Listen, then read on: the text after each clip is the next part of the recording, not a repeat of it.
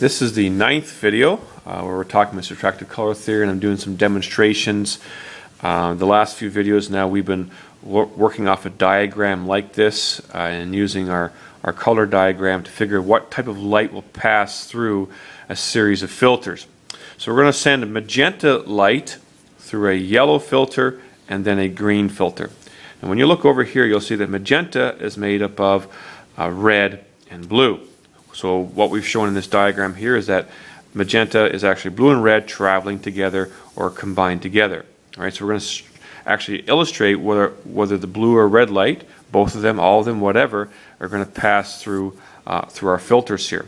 Okay, so a yellow filter, you'll see that yellow is made up of red and green, and those are the only colors that can pass through a yellow filter, in addition to yellow, of course. And so the blue here is going to get blocked by the yellow filter. The red, however, because yellow has red in it, will be able to pass through the yellow filter.